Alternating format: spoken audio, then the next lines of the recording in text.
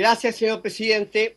Eh, en mi distrito, entre las localidades de Astillero Alto y Los Trailes, Los Trailes es un pájaro que hace... En la, pero es una localidad, en la comuna de Pelarco. Uno se demora casi 90 minutos este, este trayecto entre ambas localidades. Pues se debe realizar por un camino de tierra. Este trayecto es fundamental porque une lugares como Talca y sus alrededores, como el radal de Siete Tazas.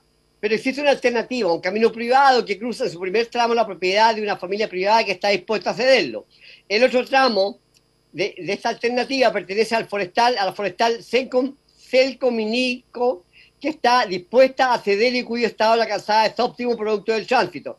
El día 19 de octubre del 2018, el CEREMI de Obras Públicas, el director regional de Vialidad y el alcalde de Peralco y vecinos del sector se reunieron para ver su factibilidad. Y la Ceremía se comprometió a dar respuesta a este requerimiento.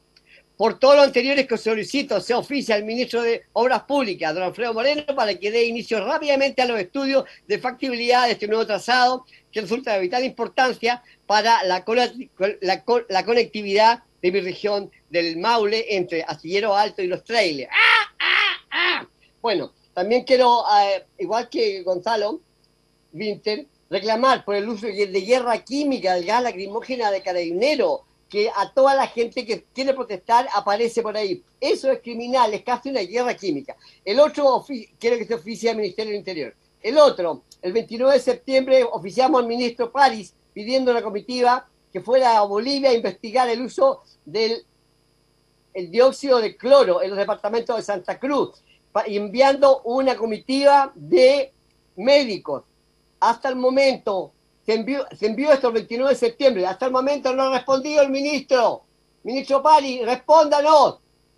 Esos son los tres oficios que estoy pidiendo mandar. Y creo que está bien. Chau. Gracias.